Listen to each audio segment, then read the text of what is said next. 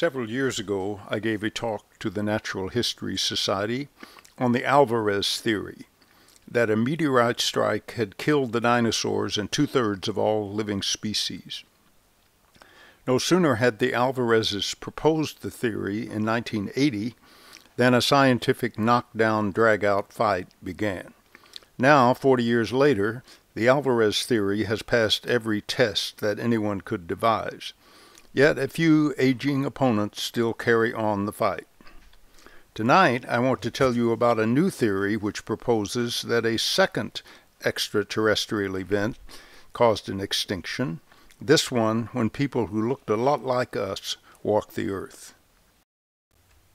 Some 15,000 years ago, moving from right to left on the slide, the earth was warming as it emerged from the last great ice age.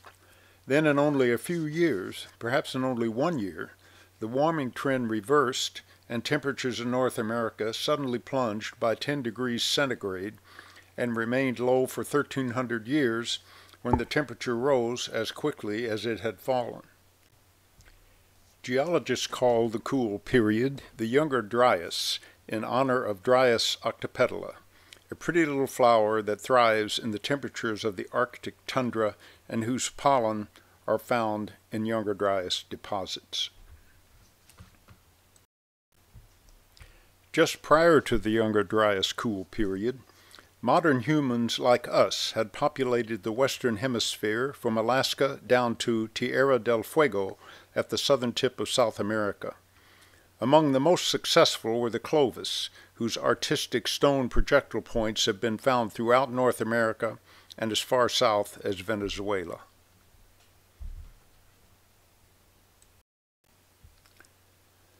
The hemisphere teemed with animal life, turning the Great Plains of North America into a prehistoric Serengeti where bison and horses grazed in the scores of millions. But there were strangers among them, a fantastic menagerie known only from fossil remains. In North America, some 35 of the big mammals, the Pleistocene megafauna, suddenly went extinct. In South America, even more. The horse vanished from both continents and was reintroduced by the conquistadors in the 1500s.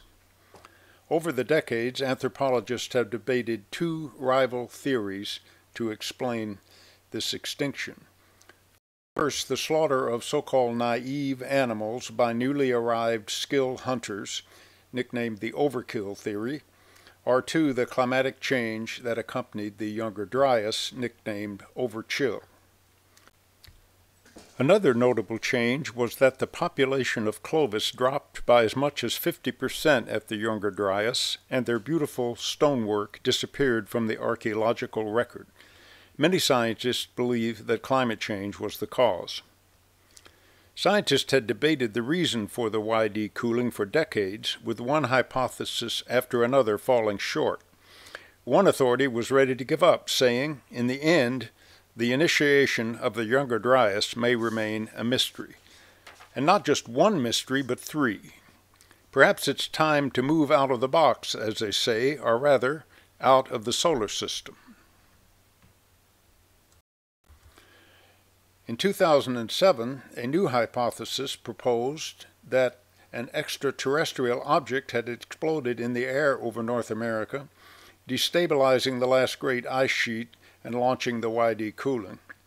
The resulting shock wave, wildfires, and destruction of food resources created an impact winter that caused the megafaunal extinctions and the Clovis decline. The scientists nicknamed their idea the Younger Dryas Impact Hypothesis, or YDIH. Let us examine one of the sites the authors of the article studied at Murray Springs, Arizona, near Tucson. On the left is Vance Haynes, professor emeritus at the University of Arizona, who discovered the site in 1966 and became a leading expert on Clovis and one of the most respected archaeologists. On the right is Allen West, one of the authors of the PNAS article. Haynes pointed his rock hammer at a thin dark layer and said to West, That's the black mat. We found it at dozens of places. No skeleton of extinct megafauna has ever been found in or above the black mat, only below it, and no Clovis artifact has ever been found in or above the mat either.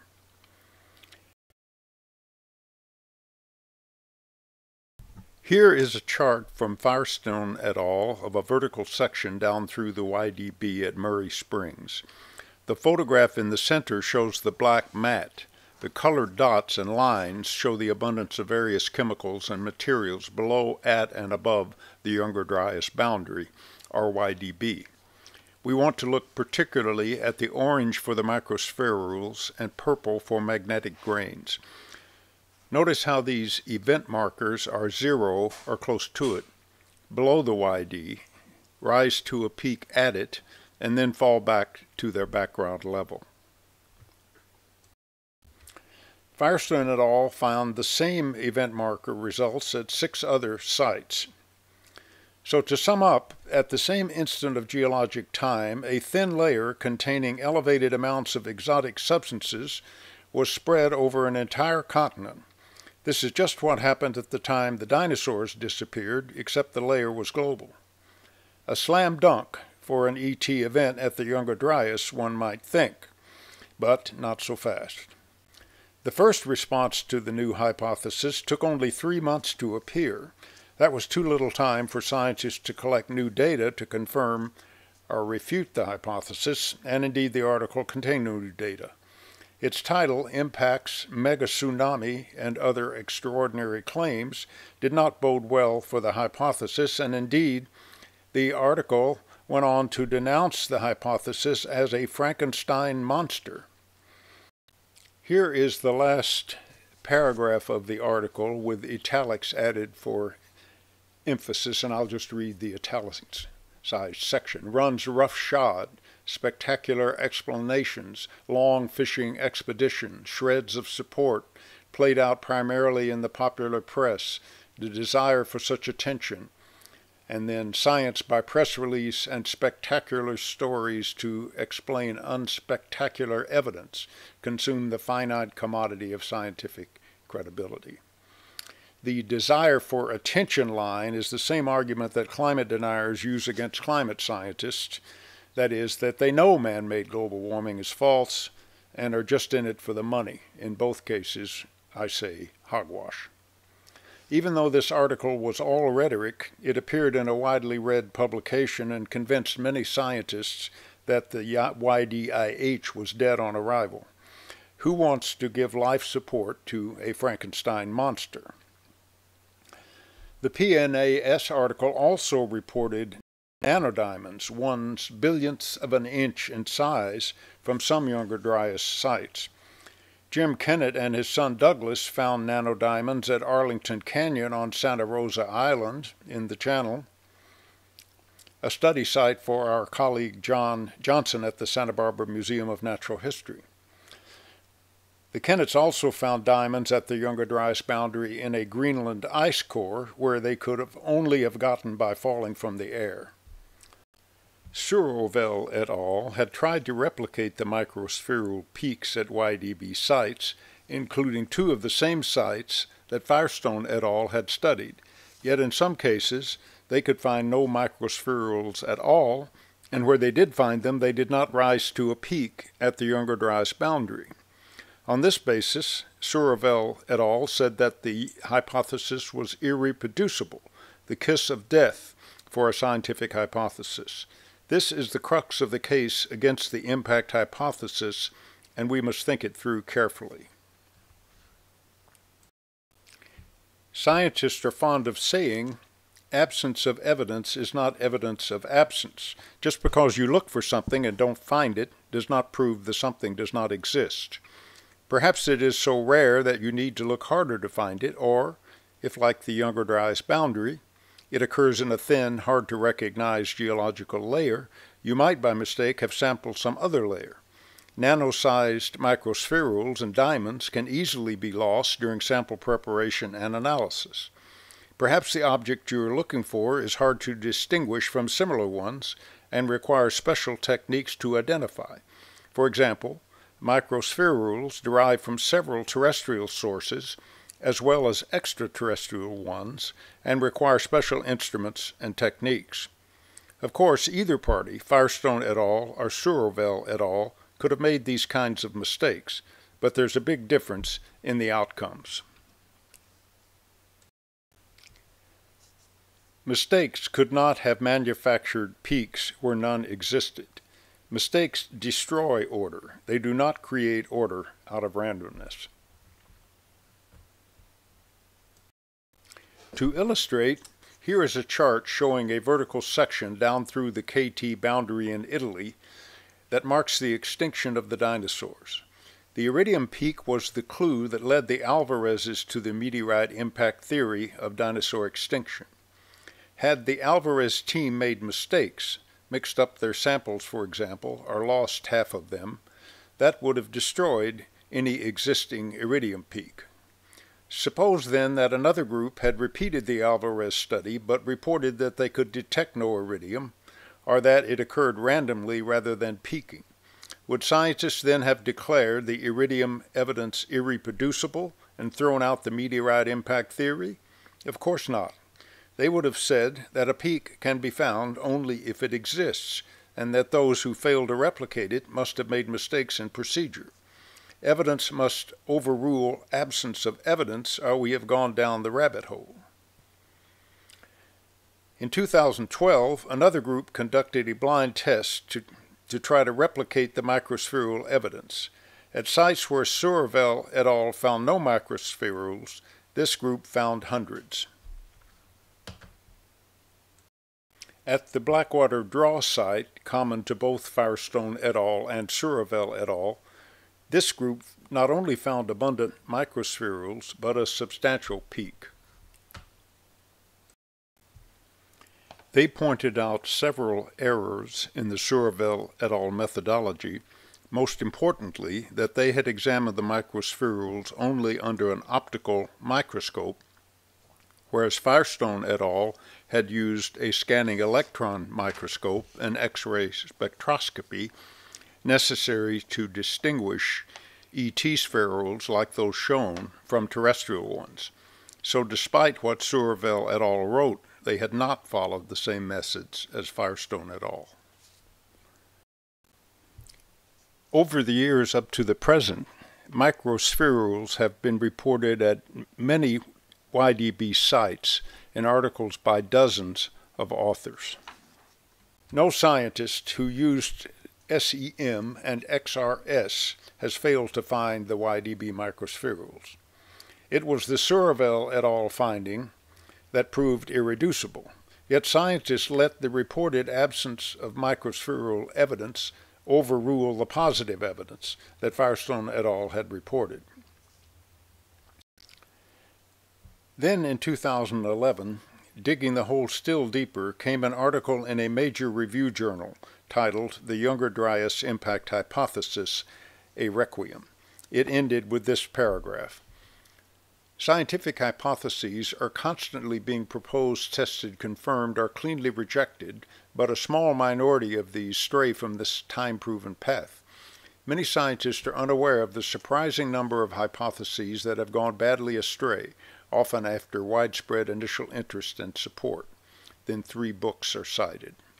Characteristics of these wayward hypotheses include claims that are spectacular, data that are subjective or at the limit of precise measurement, and criticisms met with ad hoc excuses and or shifts in the original claims. We suggest that much can be gained by stepping back and looking at the broader lessons for the earth sciences, impact science, archaeology, and other affected fields. Those three books are about pathological pseudoscience unidentified flying objects, cold fusion, extrasensory perception, eugenics, the Jewish science of the Nazis, perpetual motion, and so on through a dreary list. The authors of the Requiem paper were not content to say that the Younger Dryas impact hypothesis is false, but that it is no better than claims of flying saucers and alien abduction. I have read many scientific papers, and I have never seen statements like these. They are far outside the bounds of proper scientific discourse. Let us return to the nanodiamonds, also claimed to be irreproducible. The authors of the Requiem paper wrote that they had searched for them in the Channel Islands at the same locations where Kennett and others had sampled, and where the Kennetts had found both microspherules and nanodiamonds, but the Requiem authors could not find any of either. They wrote no clear YDB marker bed was present in any of our sections, so our results focus on spherules through sediments predating, dating to, and postdating the onset of the YD. This is tantamount to saying we did not find the YDB, so of course they did not find nanodiamonds, as this peer reviewed paper noted.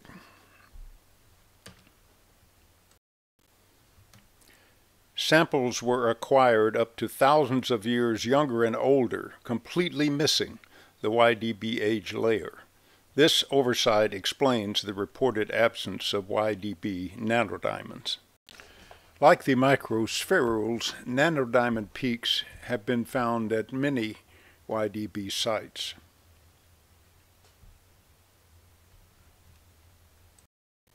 One test of the hypothesis is to recognize that an ET event is instantaneous on a geological timescale. To state the contrary, if the YDB were found to be of different geological ages at different sites, it would likely not be of ET origin. But Jim Kennett and others found that 23 YDB sites have the same age within the precision of the method.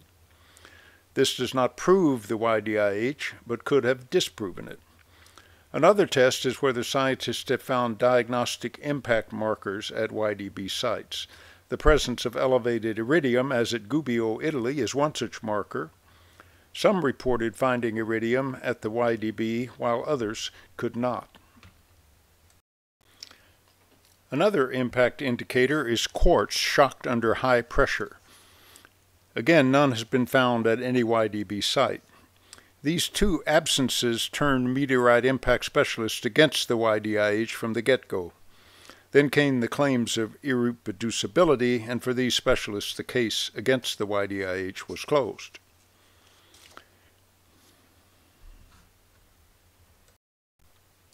Iridium belongs to the platinum group of elements that tend to be enriched in meteorites and whose presence thus suggests an ET event. In 2013 came a report from a group at Harvard that they had discovered a platinum peak at the YDB boundary in a Greenland ice core at least 100 times the background level. This finding led other researchers to look for platinum enrichment from continental YDB sites. And they found it at these four well-studied YDB sites.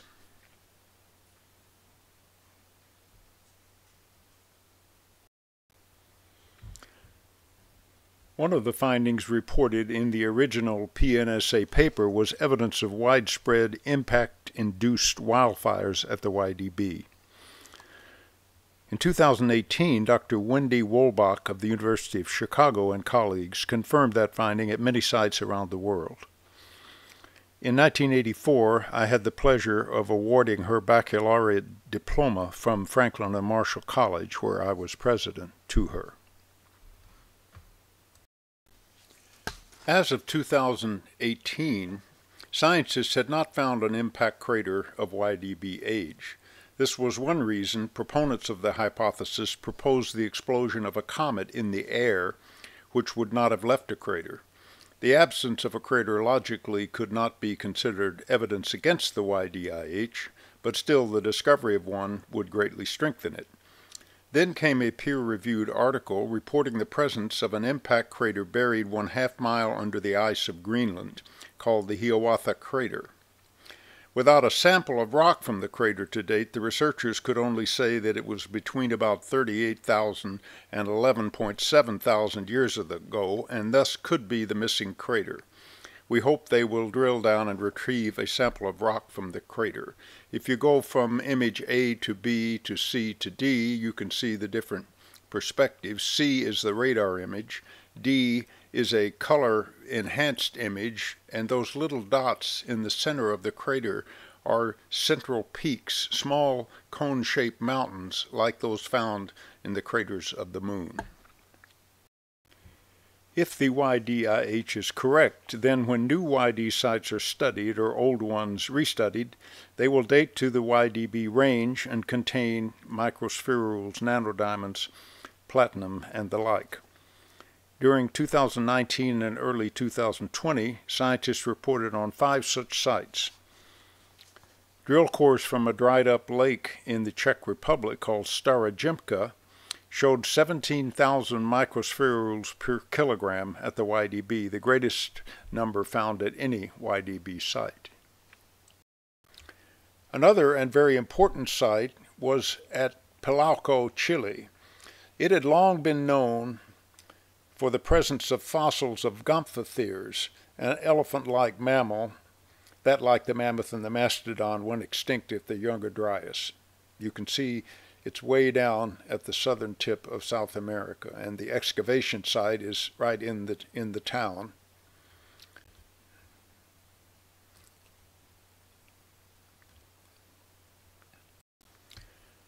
Pilauco not only has peaks in microspherules and nanodiamonds, but also in melt glass, platinum, palladium, gold, and native iron. It has a layer that resembles the black mat and shows evidence of extensive wildfires. Bones of horse and other big mammals are found below the YD at Pilauco, but not above it. The most important thing about Pilauco may simply be its location. It lies 3,600 miles south of the nearest known YD site in northern Venezuela and 7,500 miles from the northernmost one in Canada, showing how far flung is the evidence for the YDIH. One important fact is that while the northern hemisphere cooled with the YD, the southern hemisphere warmed. The seesaw effect, as scientists call it. Yet the same kinds of great mammal extinctions occurred at the same time in both hemispheres, showing that climate change was not the cause of the extinction. The rise of agriculture was a pivotal event in human history as a way of life based on hunting and gathering by nomadic tribes gave way to a more sedentary existence and farming. Archaeologists believe that one site in Syria, known as Abu Hureyra, captures this transition. Here's one of the dwellings uncovered by archaeologists at Abu Hureyra. Earlier this year, an article reported microspherules, platinum, palladium, gold, melted rock, quench droplets, and the other things shown on this slide at Abu Hureyra. They concluded the wide range of evidence supports the hypothesis that a cosmic event occurred at Abu Hureyra 12,800 years ago, coeval with impacts that deposited high-temperature melt glass, melted microspherules, and or platinum at other YDB sites on four continents. If this is correct, then a younger Dryas impact may have helped to launch the transition to agriculture. At White Pond, South Carolina, a well-known archaeological site in that state, researchers found platinum and palladium peaks many times background as well as evidence of wildfires. The last of these five recent articles described an archaeological site called Wonderkrater in the Limpopo province of South Africa. It dates exactly to the YDB and has a platinum spike 20 times background. Last spring, an outstanding scientist named Wallace Broecker died at age 88.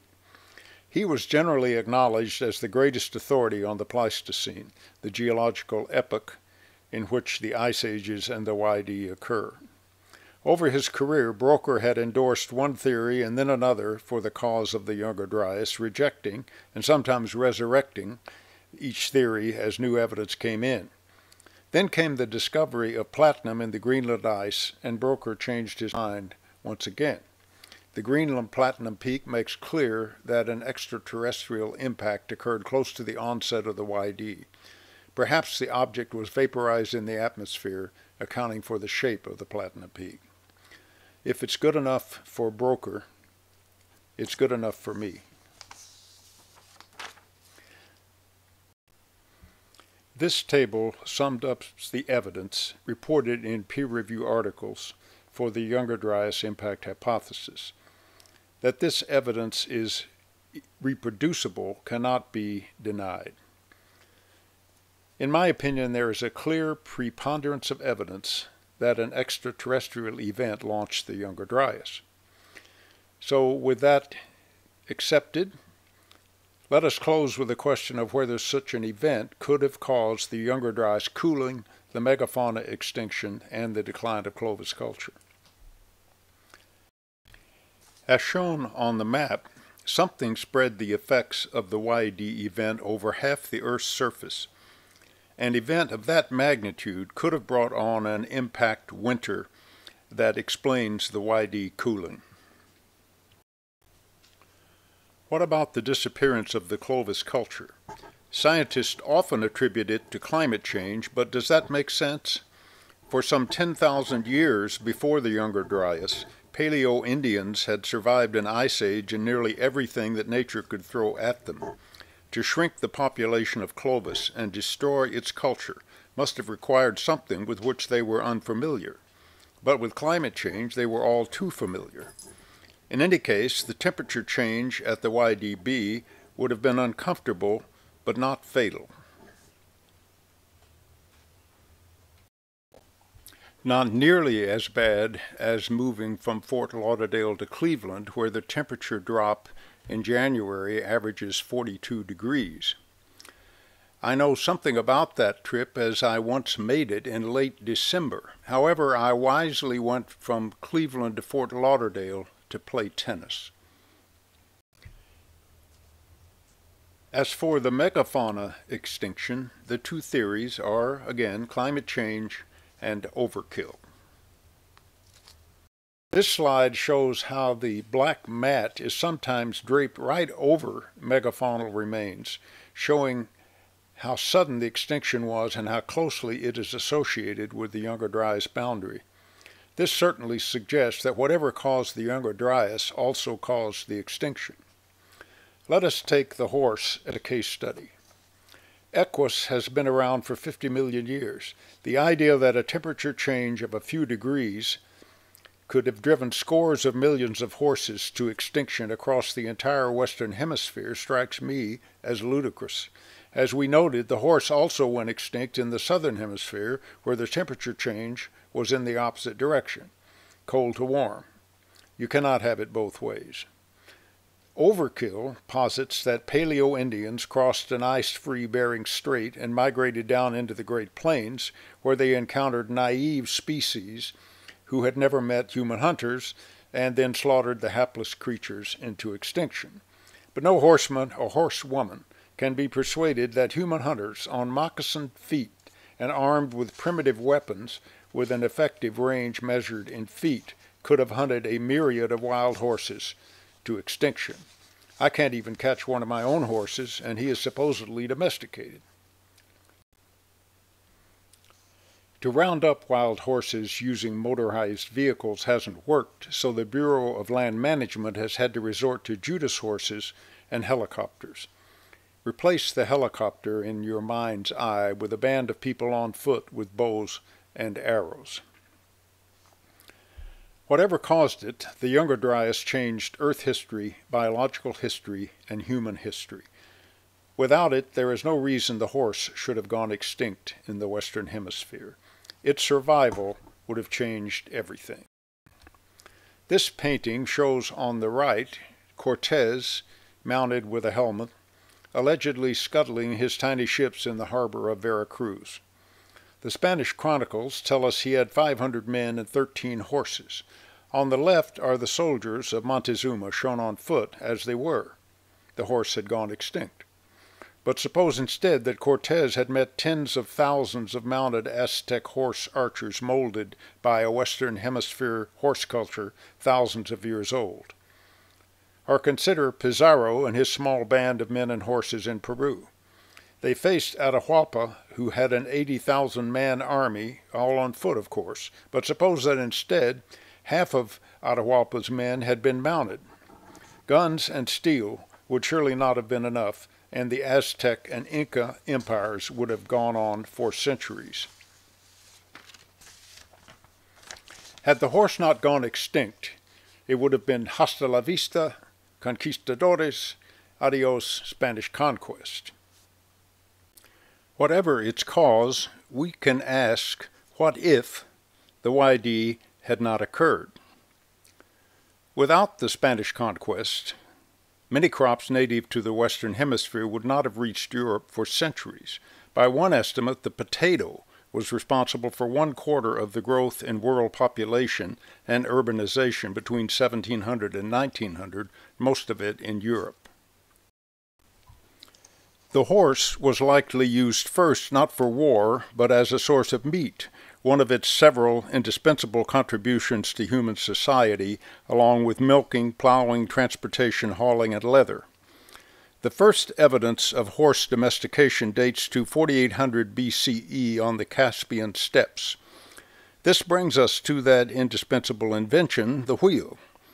Its earliest depiction in prehistoric art is this Neolithic pot, inscribed, as you can see, to the right of the center, with a sketch of a wagon with four wheels and a shaft for a draft animal to pull it.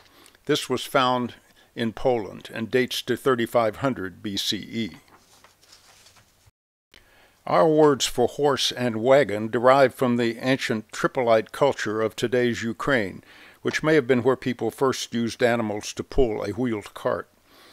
The Tripolites made miniature wagons with wheels, perhaps as children's toys, or perhaps they were replicas of full scale wagons. Native Indian cultures in Mexico and Central America also made wheel toys like this one shown, but because they had nothing to pull them, never scaled up these playthings to the real thing. The idea of a disc that can serve as a wheel may have naturally occurred to people at various times in human history, but only cultures with horses and oxen to pull a wheeled vehicle conceived of any reason to take it further than a children's toy. In Guns, Germs, and Steel, Jared Diamond tells of a New Guinean named Yali who asked him, Why is it that you white people developed so much cargo and brought it to New Guinea, but we black people had little cargo of our own? We could paraphrase Yali's question to ask, why did Native Americans not turn out to be the equal in invention and accomplishment of the Europeans who arrived on their shores? Why did Native Americans not invent gunpowder, learn to sail out of sight of land in wind powered vessels like the Vikings, and discover Europe? What if part of the answer is because of the setback of the Younger Dryas and its aftershocks in the Western Hemisphere? Is the Younger Dryas impact hypothesis proven? No, we do not ask that of a theory. All we ask is whether it explains the evidence as well or better than any other theory. As I hope I have shown you, with no rival theory that can explain the trifold mystery of the Younger Dryas, and with a mountain of reproducible evidence behind it, the hypothesis has earned a seat at the table, even at the head of the table. Thank you, and I'll now look forward to answering your questions.